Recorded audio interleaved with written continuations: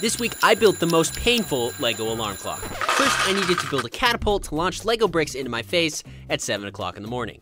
This is pain factor number one, and it turned out to be extremely painful. To make the catapult actually work, I added some rubber bands and a stopper so it would fling a bunch of Legos into my face. Then to trigger it, I built a release mechanism for the catapult. I programmed it to be triggered using this LEGO sound sensor, so when the alarm clock goes off, the sound sensor gets triggered and the motor rotates.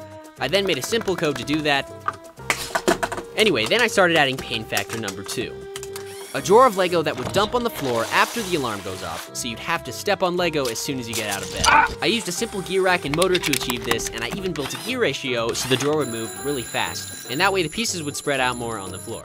Then all I had to do was build it up to look way better, add some cool designs and colors, and finally test it. And I can honestly say, it worked fantastic.